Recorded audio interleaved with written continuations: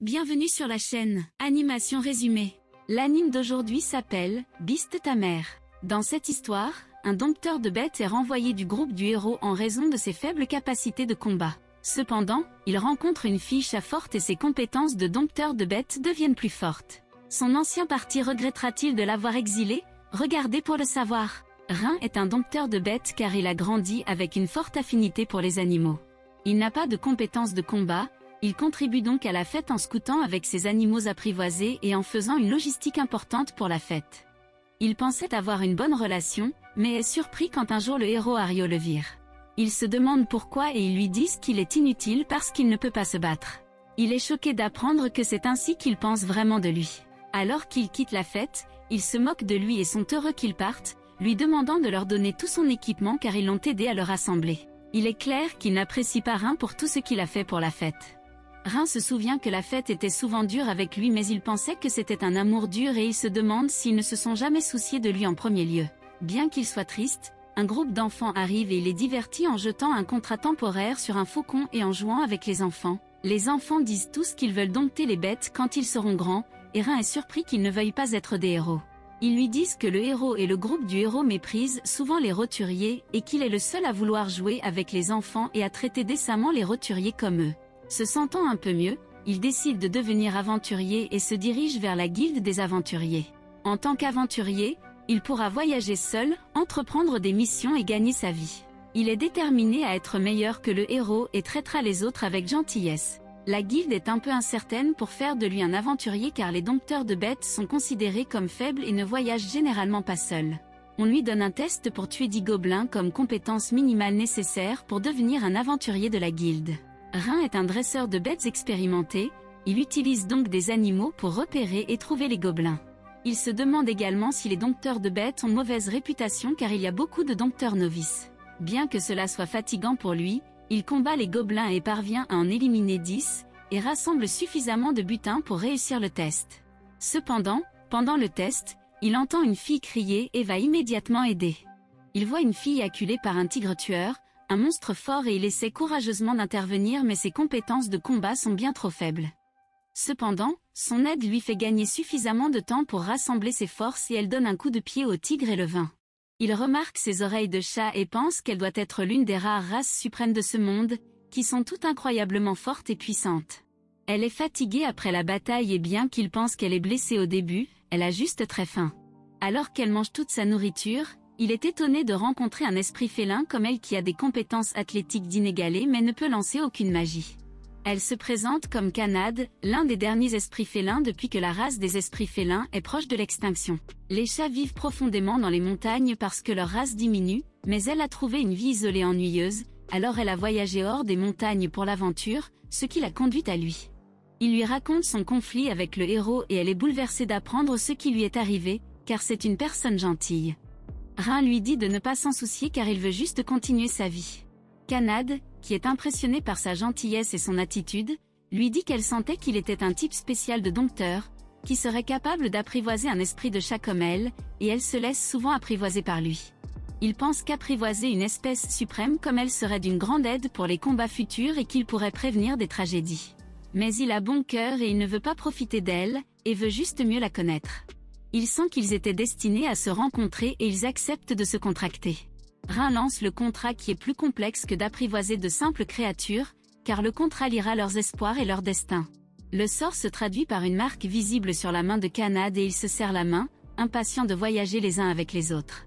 Bien que Rin soit triste d'être exilé de la fête des héros, voyant Canade heureux, il se sent plein d'espoir pour l'avenir. Avant d'arriver à la guilde, il trouve des lapins à apprivoiser et Canade est au paradis dufteux. Elle regarde Rin apprivoiser beaucoup d'entre eux et les envoyer chercher des herbes médicinales, et Canade est choqué de voir son talent de dompteur car commander des animaux avec des commandes complexes est une compétence incroyablement rare. Elle se demande à quel point il sera fort à l'avenir, s'il est déjà un dompteur si fort maintenant. Depuis qu'il a réussi le test, il est maintenant un aventurier de rang F et reçoit une petite rémunération. Mais la dame de la guilde l'encourage en lui disant qu'il sera probablement promu bientôt car il a terminé l'épreuve si rapidement. Rin veut commencer à prendre des emplois tout de suite, mais avant de pouvoir partir, ils sont confrontés à un intimidateur. Il insulte Rin et ne croit pas que Canade puisse être apprivoisé par quelqu'un comme Rin. Il défie Rhin de faire un bras de fer et Rhin accepte parce qu'il sent que les intimidateurs continueront à s'en prendre à Canad s'il ne fait rien. Mais ils sont tous les deux choqués de voir Rhin gagner facilement. La guilde s'excuse pour le comportement de l'intimidateur car il était un membre qui était déjà sur le point d'être expulsé de la guilde. La dame de la guilde est étonnée qu'il ait contracté une espèce aussi puissante que Canad. En partant, Canad lui dit qu'en raison de leur contrat, il a acquis une force physique puissante à égalité avec la sienne à la suite de leur contrat. C'est pourquoi il a écrasé si facilement l'autre aventurier dans le bras de fer. Leur prochain travail consiste à rassembler plus d'herbes médicinales et Canad est déçu de ne pas avoir de travail plus dangereux, mais c'est parce que Rhin est toujours de rang F. Il utilise à nouveau des lapins pour cueillir des herbes et elle est contrariée qu'un groupe de lapins soit meilleur qu'elle pour cueillir des herbes. Soudain, Canad sent des ennuis et il trouve un vieil homme volé par les Ebon Fang, une grande et célèbre bande de voleurs après que l'escorte d'aventuriers du vieil homme se soit enfuie. Il regarde la confrontation et Canad se demande s'il devrait courir chercher de l'aide mais Rhin ne pense pas qu'il y ait assez de temps, il détermine qu'ils doivent intervenir le plus tôt possible pour sauver la vie du vieil homme même si c'est dangereux. Ils entrent en action avec une attaque surprise et sauvent le vieil homme. Alors que Canad le regarde défendre le vieil homme avec ses nouvelles prouesses physiques, elle est étonnée de la rapidité avec laquelle il s'est adapté à sa nouvelle force physique. Une fois les brigands vaincus, Rhin révèle que les dompteurs de bêtes apprennent en fait les arts martiaux afin de ne pas blesser les animaux qu'ils apprivoisent. Le vieil homme est reconnaissant pour leur aide mais les exhorte à s'enfuir car les ébons fang riposteront certainement lorsqu'ils apprendront que certains voleurs ont été vaincus. Alors Rhin élabore un plan pour capturer les voleurs qu'ils ont vaincus, puis attaquer les ébons fang directement dans leur cachette. À l'aide d'animaux, ils explorent la cachette et Rhin révèle son plan d'utiliser des abeilles spéciales pour paralyser les voleurs à l'intérieur de la cachette afin de faciliter le combat. Il veut également qu'elle retourne en ville vers des chevaliers pour aider à arrêter les bandits, car il n'y a aucun moyen qu'ils puissent capturer plus d'une centaine de bandits. L'armée des abeilles arrive. Il s'avère que Lynn et Mina, qui étaient d'anciens membres du parti de Rhin dans le groupe du héros, faisaient partie des aventuriers qui ont abandonné le vieil homme. Ils pensaient que ce serait un travail facile, mais ils sont gênés d'avoir dû s'enfuir. Ils ne sont pas impressionnés par leur nouveau dompteur de bêtes et le réprimande pour ne pas bien repérer les écureuils et qu'il aurait dû utiliser un SM d'écureuil, mais le dompteur de bêtes est choqué parce que les dompteurs normaux ne sont censés pouvoir apprivoiser qu'une seule bête à la fois. Tant est que les dompteurs de bêtes qui peuvent apprivoiser plusieurs animaux sont rares et forts. Mina ne le croit pas car elle pense toujours que Rhin était un échec, et elle chasse leur nouveau dompteur pour leur avoir menti. Pendant ce temps, Rhin a désactivé tous les bandits dans la cachette et Canad arrive avec des aventuriers et des citadins. Le chevalier n'est pas venu parce qu'ils ont trouvé des bandits en train de les arrêter, mais Rhin félicite Canad d'avoir fait un excellent travail. Soudain, une horde de lézards royaux que les bandits utilisaient comme sécurité apparaît mais même les lézards royaux n'obéissent pas aux bandits parce qu'ils sont devenus fous de colère. Rhin et Canad engagent les lézards royaux et défendent les autres, leur laissant le temps de s'enfuir. Ils sortent de la cachette après avoir vaincu les lézards royaux et les habitants de la ville et loups, et il obtient enfin la reconnaissance qu'il mérite. Il est étonné de voir à quel point sa vie a changé depuis son passage dans le groupe des héros et est heureux d'avoir rencontré Canad qui lui a donné le pouvoir d'aider les autres. Après avoir sauvé la ville des bandits et des lézards royaux, Rhin et Canad sont célébrés et reçoivent de grandes chambres. Rhin est également immédiatement promu au rang de la guilde, et le petit groupe achète de la nourriture et un meilleur équipement avec l'argent de la récompense. On leur donne une chambre ensemble mais Rhin est gêné de partager une chambre avec Canad. Elle fait confiance à Rhin pour ne pas profiter d'elle et il pense qu'elle est trop confiante. Mais elle sent qu'elle n'est pas normalement aussi confiante et elle ne lui fait confiance que parce qu'il a prouvé qu'il était un partenaire précieux. Ils partagent la chambre cette nuit-là, et Canad pense que les esprits félins comme elles sont si rares et si puissants que les humains essaient toujours d'en profiter. Et elle est heureuse que Rhin la traite comme une personne et non comme un objet. Elle pense également que même s'il ne le montre pas, Rhin doit se sentir mal d'avoir été expulsé de son ancien parti, et elle décide de faire de son mieux pour le rendre heureux. Les deux prennent de petits travaux jusqu'à ce que la guilde leur assigne une mission urgente, pour affronter un fauteur de troubles qui bloque un pont important pour la guilde. Le fauteur de troubles ne laissera personne traverser le pont à moins qu'il ne soit vaincu au combat, et bien qu'il n'ait tué personne, personne n'a pu gagner contre lui. Rhin et Canad tentent de trouver des informations, mais aucun des membres de la guilde vaincue ne veut parler de leur défaite. Ils arrivent sur le pont et sont choqués de découvrir que le fauteur de troubles est une fille dragon nommée Tania. Les dragons sont une espèce ultime et cherchent toujours à améliorer leur force, et en tant que jeune dragon, elles recherchent des adversaires puissants pour se battre pour devenir plus fortes. Elle les défie dans une bataille et grâce au pouvoir hérité de Rhin, il est capable de bloquer une seule attaque. Tanya utilise ses flammes et allume la queue de Canade en feu, ce qui rend l'affiche incroyablement folle. Ils essaient de suivre le dragon et lui tendent une embuscade en même temps, mais elle est capable de les combattre et de les faire exploser avec son feu. Bien que les deux s'échappent à peine, Rhin se rend compte qu'ils ne peuvent pas vaincre le dragon en combat physique et doivent changer de stratégie. Il demande à Canade de lui faire gagner du temps et elle engage le dragon au corps à corps. Canade ne peut pas battre Tanya en endurance, mais Rhin arrive avec une nuée d'oiseaux qu'il avait apprivoisée. Elle devient paralysée et Rhin révèle que les oiseaux ont en fait des becs venimeux qui paralysent leurs adversaires. Incapable de se battre, elle se rend et promet de ne plus déranger le pont. Et Canade la pousse à se soumettre. Il ramène Tanya à la guilde et tente de cacher sa véritable apparence, mais elle continue d'attirer l'attention en défiant les aventuriers et en se montrant aux enfants. En dehors de la ville, Tanya se demande pourquoi ils ne la prennent pas en captivité et le groupe lui dit qu'il voulait juste qu'elle quitte le pont seule.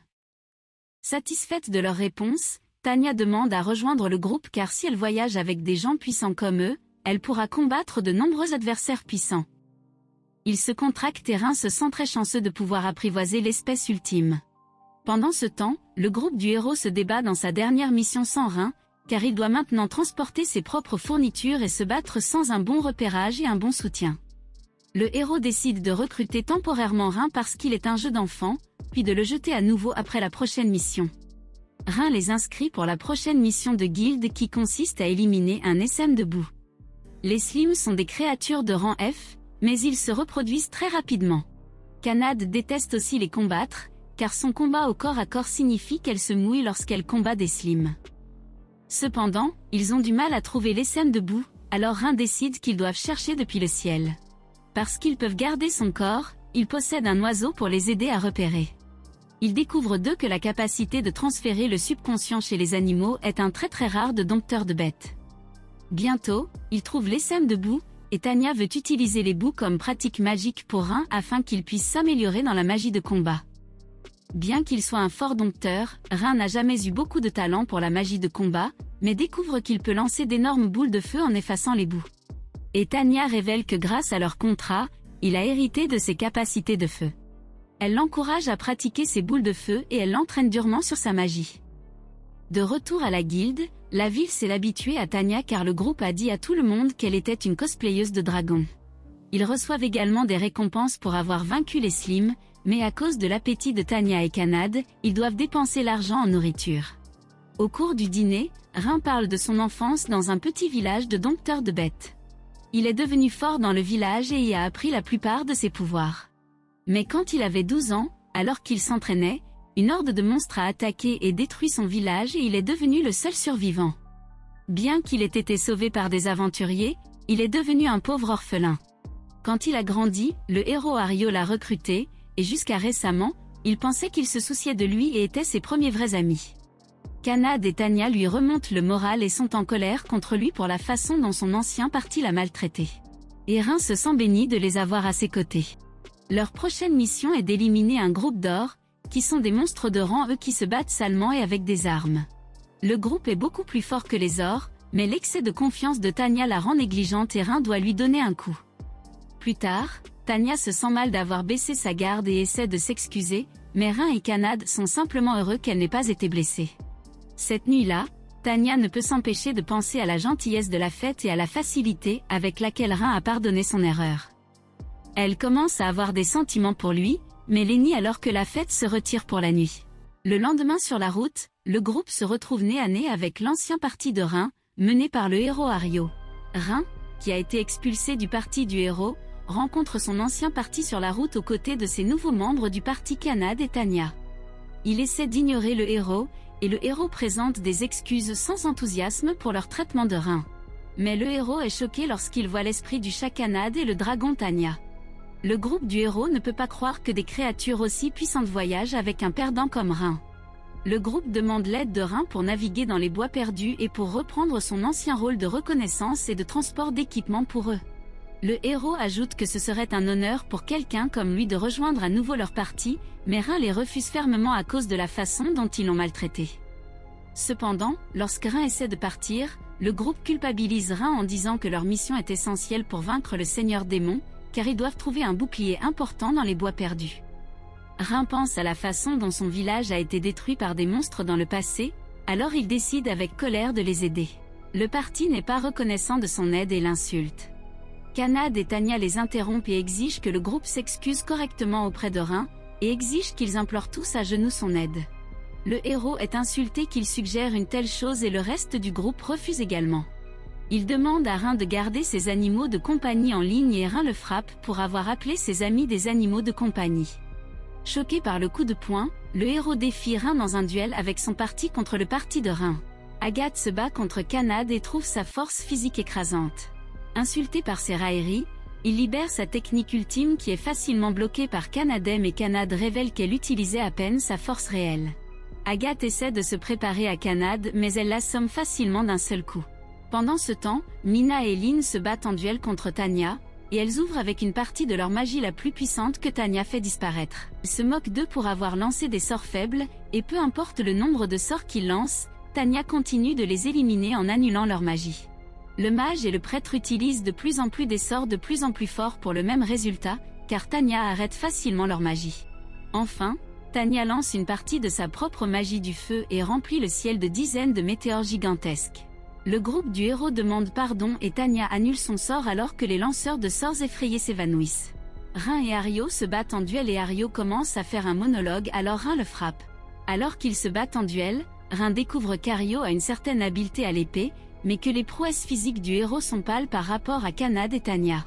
Il utilise facilement ses arts martiaux pour esquiver et frapper le héros, et gronde le héros pour ne pas respecter le pouvoir de ses amis qui sont l'espèce ultime. Il exige que le héros se rende mais Ario refuse et lance sa magie éclair spéciale qui est annulée par la magie du feu de Tanya.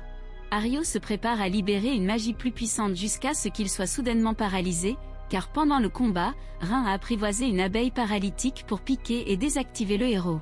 Ario essaie de faire appel à son amitié avec Rin et demande pardon, mais Rin ne peut que penser à quel point ils l'ont maltraité et fait tomber le héros dans l'inconscience. Fraîchement sortis de leur propre victoire, Kanad et Tanya arrivent et embrassent Rin. Le groupe se rend dans les bois perdus et trouve les bois sombres et effrayants, et Tanya se demande s'ils peuvent simplement tout brûler à l'horreur de Rin. Bien que le groupe du héros leur ait fourni une carte de leur progression, comme les bois perdus changent constamment, ils trouvent la carte inutile. Le héros se repose également à cause de la violence avec laquelle il a été battu pendant les duels et a été contraint de s'excuser auprès de la fête. Le héros essaie de leur ordonner d'aller chercher le bouclier, en utilisant son statut de héros mais il l'ignore. Tanya et Kanad se demandent pourquoi ils aident le héros alors qu'ils sont tous plus forts que lui. Rin les remercie de l'avoir défendu contre le héros, mais ils doivent aider le héros car il sera celui qui vaincra le roi démon. Rin possède à nouveau un oiseau pour explorer les bois et à travers ses sens, il détecte un chemin caché à travers les bois. Il tente de suivre le chemin mais se retrouve à tourner en rond, car il passe un marqueur qu'ils avaient placé plus tôt. Tanya décide d'utiliser la magie pour détecter la magie de l'illusion et est capable de découvrir un champ magique catchant un grand arbre. Tanya déclare que les bois perdus ne changent pas réellement, mais le sort confond leur sens de sorte qu'ils tournent en rond et évitent la barrière. Comme la barrière est assez solide, Tanya mettrait beaucoup de temps à l'enlever, alors qu'Anna essaie de se frayer un chemin jusqu'à ce qu'une voix mystérieuse l'arrête. Une fée se révèle et Rhin est étonné de voir la première fée en 200 ans, après que les humains du passé aient chassé toutes les fées il y a des siècles. Ils tentent de se présenter mais la fée les menace avec une puissante magie et leur ordonne de partir. Effrayés par son pouvoir, ils battent en retraite. Rin se méfie de l'incident, car une fée ne se révélerait généralement jamais, donc la barrière doit protéger quelque chose de très important. L'artefact de bouclier est censé être capturé par des monstres dans les bois, et le groupe se demande s'il est fait s'allier avec les monstres. Mais Rin se demande s'ils peuvent négocier avec la fée et aborder la question pacifiquement. Rin retourne vers la fée et elle menace de l'attaquer, mais Rin utilise sa formation de dompteur de bêtes pour lire le langage corporel dans des situations tendues et survit à son attaque d'avertissement. La fée est confuse car elle sait que les humains sont des êtres pervers qui ont attaqué les fées. Elle tente de tuer Rin mais son parti le sauve, et Tanya et Kanad expriment les bonnes intentions de Rin à la fée. Puisqu'un esprit chat et un dragon le soutiennent, la fée accepte à contre de parler paisiblement. Elle se présente comme Sora et révèle que la barrière protège un village de fées et que les fées possèdent le bouclier de la vérité. Quand ils révèlent qu'ils ont besoin du bouclier pour aider le héros à vaincre le roi démon, elle décide de le leur donner comme si elle détestait les humains, elle détestait encore plus les monstres. Sora révèle qu'avant que les fées et les humains n'entrent en guerre, ils avaient un accord pour confier le bouclier de la vérité aux humains. Mais avant de quitter Rhin, il sent que quelque chose d'autre trouble Sora et lui demande avec quoi elle se débat. Lorsque le groupe promet de la soutenir, Sora leur parle à contre de sa sœur jumelle Runa qui gardait également la barrière dans les bois perdus. Un jour, alors qu'ils avaient temporairement quitté la barrière, ils ont été attaqués par les forces du roi démon et Runa a été capturée. Le monstre était un chevalier de l'ombre qui est particulièrement dangereux pour les fées car ils ont la capacité d'annuler toute magie, ce qui en fait des contre-pieds parfaits pour les fées qui sont faibles physiquement mais fortes magiquement. Le chevalier de l'ombre a donné à Sora le choix entre Runa ou le village, et Sora a choisi le devoir plutôt que sa sœur et s'est enfui. Cependant, de retour au village des fées, le roi des fées a décidé de ne pas envoyer d'équipe de sauvetage car cela mettrait en danger les autres fées et Runa a été laissée pour morte. Sora se sent impuissante alors qu'elle est coincée à garder la barrière et ne peut pas sauver sa sœur. La fête la réconforte car ils promettent de faire tout ce qu'ils peuvent pour sauver sa sœur Runa. Rin, Tanya et Kanad avaient promis à Sora de sauver sa sœur Runa du Chevalier de l'Ombre. Mais Sora révèle qu'elle a conclu un accord avec le Chevalier selon lequel elle supprimerait la barrière du village des fées d'ici la fin de la journée pour sauver Runa.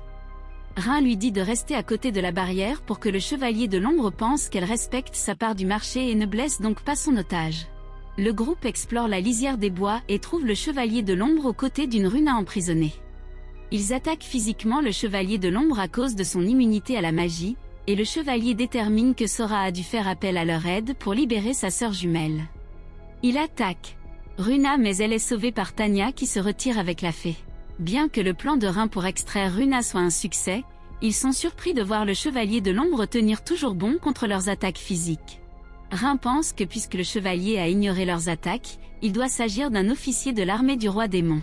Il demande à Kanad de distraire le chevalier pendant qu'il utilise ses sens pour apprivoiser une foule d'abeilles paralytiques. Bien que le chevalier ne soit pas affecté par la paralysie, cela donne à Rhin suffisamment de temps pour canaliser ses pouvoirs de dompteur de bêtes et habiliter Kanad à de plus haut sommet un canad renforcé détruit le chevalier de l'ombre, et Rin révèle que la magie qu'il a utilisée était un sort unique alimenté par l'immense magie de Tanya. La fête réunit les deux sœurs et Runa plaisante sur son emprisonnement par le chevalier de l'ombre. Le groupe se prépare à partir mais les sœurs révèlent qu'elles quitteront le village des fées car Sora ne peut pas leur pardonner d'avoir abandonné sa sœur. Kanad les invite à se joindre à la fête car ils ont peu d'expérience avec le monde extérieur. Sora est un peu incertain mais revient quand Runa accepte avec enthousiasme. Rin est un dompteur expert mais aucun humain n'a apprivoisé une fée auparavant et il a du mal à créer le sort nécessaire. Il expérimente sa magie et crée le sort pour apprivoiser avec succès les fées jumelles, mais apprivoiser deux espèces ultimes à la fois lui demande beaucoup. Plus tard, Rin décide de remettre seul le bouclier de la vérité au héros Ario, insistant pour qu'il s'occupe seul de son ancien parti. Ario le traite de menteur jusqu'à ce que le groupe confirme que le bouclier est vraiment authentique. Rin prend son or et commence à partir jusqu'à ce qu'Agathe lui demande de retourner dans son ancien groupe, disant que le dompteur de bêtes devrait oublier le passé lointain et troublé. Mais Rin ne peut plus jamais voir son ancien parti comme des camarades après la façon dont ils l'ont traité et il les a refusés, car il a déjà son propre parti. Après le départ de Rin, le groupe du héros se plaint de la décision du dompteur. Mais Ario ne peut pas oublier sa défaite contre Rin et jure de se venger. Pendant ce temps, Rin raconte à son parti la légende du héros, que le premier héros a été habilité par les dieux à libérer le peuple du roi démon. Il se moque du héros actuel Ario, et Rin déclare qu'Ario n'est qu'un descendant du premier héros, et que les descendants du premier héros ont tous une certaine quantité de sang divin qui les rend plus puissants avec le temps. Sora se demande si Rin lui-même a du sang divin du premier héros, car il est également devenu beaucoup plus fort au fil du temps et a la capacité de se contracter avec des espèces ultimes comme eux. Kanad se demande si Rin continue d'apprivoiser l'espèce ultime, il pourrait devenir assez fort pour vaincre le roi démon lui-même. Rin n'a pas pensé au roi démon depuis qu'il a quitté le groupe du héros, et bien qu'il le veuille, il sent qu'il n'est pas assez fort pour s'engager à combattre le roi démon. Le parti lui dit que quoi qu'il arrive, ils le soutiendront, et il estime que pour l'instant, il devrait simplement devenir plus fort jusqu'au jour où il choisira un destin pour lui-même. Comme la récompense d'Ario était importante pour avoir récupéré le bouclier de la vérité, Rin a beaucoup d'argent et le groupe décide au petit déjeuner de faire du shopping. Les surfs s'inquiètent de la surpopulation de l'établissement humain car vivant dans le village des fées, elles n'ont pas l'habitude de voir autant de foule. Un groupe d'aventuriers montre du respect à Tanya après avoir été vaincu par elle sur le pont. Pendant ce temps, Kanad reçoit de la nourriture gratuite de commerçants reconnaissants. Un groupe d'enfants s'approche des fées et les appelle les nouvelles épouses de Rhin, ce que Runa trouve hilarant. Elle révèle presque qu'elles sont de puissantes fées jusqu'à ce qu'elles soient arrêtées par Sora et Rhin. Sora rappelle à Runa qu'ils doivent garder secrète leur identité de fée, sinon tous les humains paniqueront. Ils entrent dans un magasin d'armes, qui appartient à un nain intimidant. Runa aimerait que Rhin achète un fouet car c'est une arme appropriée pour les dompteurs de bêtes, mais Sora l'empêche d'agir de manière indécente. Rhin teste un poignard mais sent que quelque chose ne va pas avec l'arme. Au même moment un aventurier arrive et achète une épée au nain. Après le départ de l'aventurier, Rhin affronte le nain et se demande pourquoi toutes les armes de la boutique sont des pièces d'exposition et inutiles au combat.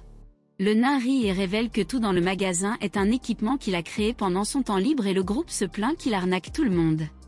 Le nain offensé révèle que les aventuriers manquent de respect pour son savoir-faire, et les armes d'exposition sont un test car les aventuriers jetteraient ces armes finement conçues pour tout ce qui est le plus récent sur le marché. Le nain est surpris que Rhin puisse sentir la qualité de l'équipement et propose de lui fabriquer une arme personnalisée. Mais seulement à condition que Rhin et le groupe collectent les matériaux nécessaires. Plus tard, à la guilde, ils voient une foule immense, et la guilde leur dit que de nombreux aventuriers sont ravis de rejoindre le groupe du héros qui cherche à recruter des membres de soutien pour les aider à vaincre le roi démon. Runa et Sora se présentent, mais Runa cause presque des problèmes en exagérant leur relation. Ils remettent la demande personnalisée de Gantz le nain pour le minerai de mithril, un métal extrêmement rare mais aussi extrêmement durable. Gantz avait une mine de mithril mais un jour tout le mithril a disparu, et Rhin détermine que quelque chose a dû se passer dans la mine elle-même pour que le mithril disparaisse d'un coup. Le groupe décide d'aider Gantz à enquêter sur la mine en échange d'une arme personnalisée pour Rhin. Et Gantz est heureux qu'il propose de l'aider en échange de son savoir-faire et non de leur ordinaire. Le lendemain, ils se rendent à la mine mais les fées se fatiguent rapidement car elles étaient enfermées. Comme toute la fête est fatiguée, ils décident de faire une pause au bord d'un lac voisin, et les filles se détendent pendant que Rhin surveille leur équipement et fait une sieste. Pendant leur nage, Canade est attaqué et Rhin se précipite pour aider, mais ce n'est qu'un poisson qui a mordu la queue de Canade. Ils sont choqués de le voir, et plus tard, Rhin s'excuse.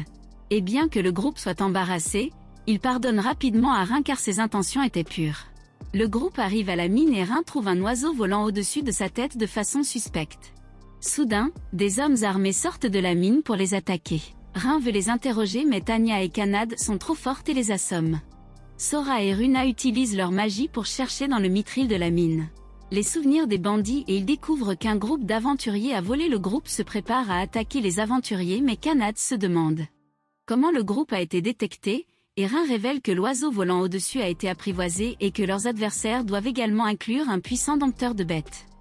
Et c'est tout pour cette vidéo, assurez-vous de vous abonner si vous l'avez aimé et je le ferai à la prochaine.